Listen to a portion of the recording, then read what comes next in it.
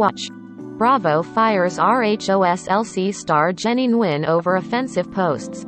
Crystal Hefner has weighed in on the explosive new TV series about her late husband, Hugh Hefner. The 35-year-old model spoke out on Twitter to address some of the allegations in the A. She seemed to reference one of former Playboy bunny Holly Madison's claims in the documentary involving a stash of photos. On screen, Madison said she was afraid to leave the Playboy mansion, because Hugh allegedly had a mountain of revenge porn waiting to come out. She, Shay thought about killing herself, but eventually found a new sense of purpose by starring on The Girls Next Door from 2005 to 2009. After the docu-series premiered, Crystal said that Hugh kept images of women. While not mentioning the show directly, she tweeted, I found thousands of those disposable camera photos you were talking about at Holly Madison. Crystal, who has also spoken out about feeling like the mansion was akin to a prison, said that she got rid of Hugh's stash. I immediately ripped them up and destroyed every single one of them for you and the countless other women in them, she shared. They're gone. Holly responded to her co-star with a simple thank you. Last year, Crystal reflected on her time with Playboy by posting a photo of herself at the mansion in 2016. She recalled, it was toward the end when I started saying no to things that weren't me. Hair got more natural, implants came out. No more fake tan or life. I was still sick physically and mentally, but on the road to recovery. This week, the A. Lived in the house, pressured women into getting plastic surgery and was allegedly involved in trafficking drugs. Hugh's son Cooper Hefner publicly defended him in light of the recent claims. Some may not approve of the life my dad chose, but my father was not a liar, he wrote on Twitter. However unconventional, he was sincere in his approach and lived honestly. He was generous in nature and cared deeply for people. These salacious stories are a case study of regret becoming revenge. Playboy itself also issued a statement after an early teaser showed Holly saying that the mansion was cult-like and the women were all gaslit. The company responded in part, the Hefner family is no longer associated with Playboy, and today's Playboy is not Hugh Hefner's Playboy. We trust and validate these women and their stories and we strongly support those individuals who have come forward to share their experiences. Playboy additionally published an open letter calling for its team to listen as these women share their stories. Read through the allegations below. Hefner had blackmail on those who lived in the house, according to numerous people.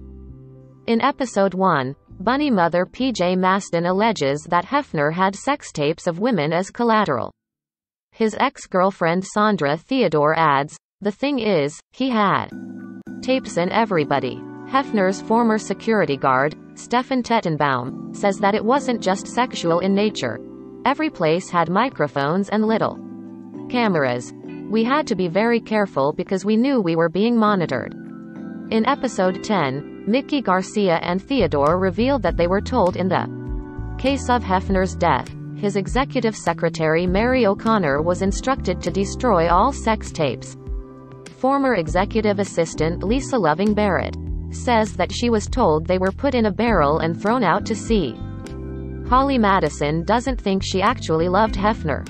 In the past, the bunny used to say she wanted to marry and have kids with Hefner, but she now says, I think I definitely thought I was in love with Hef, but it was very Stockholm Syndrome. Madison adds that she used to think everyone disliked her because they were jealous but later realized Hef always pits the main girlfriend against the other girls. Theodore thought he did this intentionally, speculating, if everyone's a little unsure of themselves, he can get his. Holly alleges were pressured into getting plastic surgery. Madison says that Hefner expected all the women to look a certain way, claiming, the plastic surgery amongst the girlfriends in the mansion was compulsive.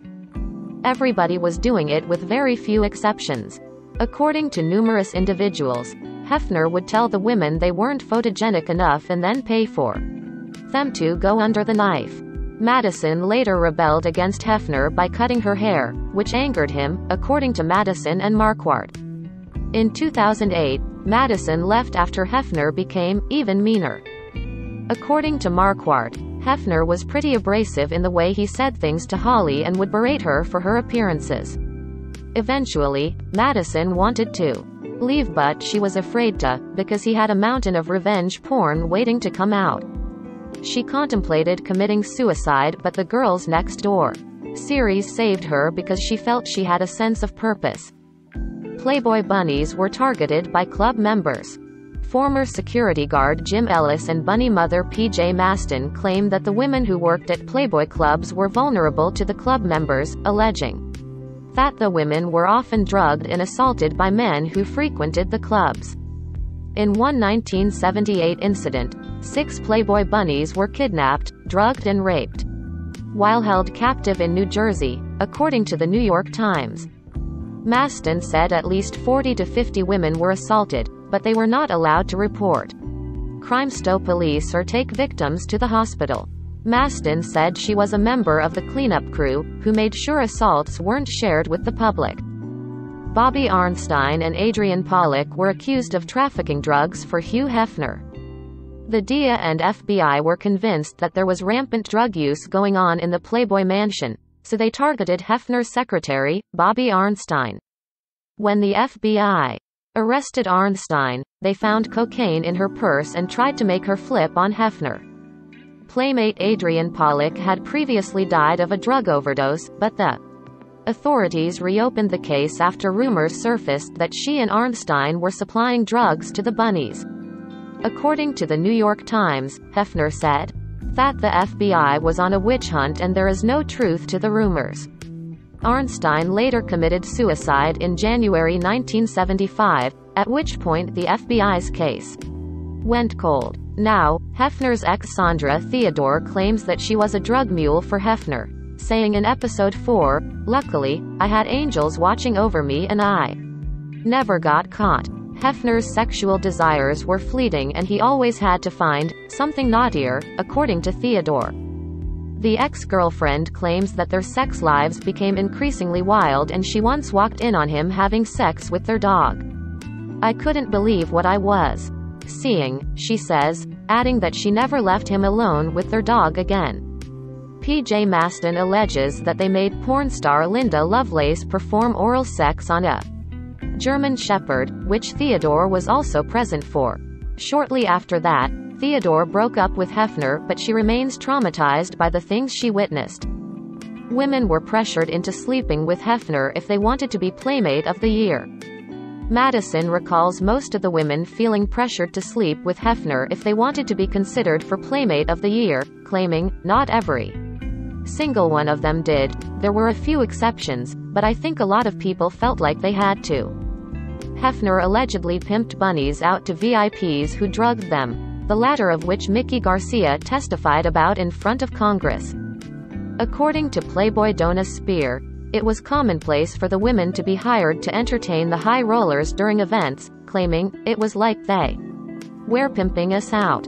Former Playmate Christy Tom adds that it felt like they were prostitutes. In 1985, Miki Garcia testified in front of the U.S. Commission on Pornography, claiming that more than one playmate participated in an international callgirl ring, according to the Chicago Tribune. In episode 7, Miki claims that women were being coerced into terrible things by Hefner and other Playboy staff, who trapped the models with unfair contracts. Holly Madison, Paige Young and more claim Hugh Hefner was aware of assaults against playmates. Hefner's former bodyguard Jim Ellis said that Bill Cosby's arrest wasn't a surprise, claiming, Everybody that worked at the mansion knew that he was basically a predator. Masten claims in episode 8 that she told her boss but was warned that she'd lose her job if she told Hefner. Hugh Hefner had a romantic relationship with Dr. Mark Saginor. Saginor's daughter Jennifer says in episode 9 that Hefner was in love with his personal doctor, Mark Saginor, who was arrested on charges of assault. The charges were later dropped. What I've realized over time is that their connection was much more than just best friends, Jennifer says. It's my personal belief that the love of Hef's life was my father. Sandra Theodore also claims that Hefner and Saginor were lovers. There were shadow mansions where women were drugged and assaulted. Jennifer Saginor claims in episode 9 that there were shadow mansions that emulated the Playboy Mansion. And though Hefner settled down with wife Kimberly Conrad, the mini mansions continued to flourish, with Saginor claiming that the men would set up fake photo shoots, where they'd promise aspiring models potential contracts. Saginor alleges that the nude photos and videos that were taken of the women were used to blackmail them into having sex with guests.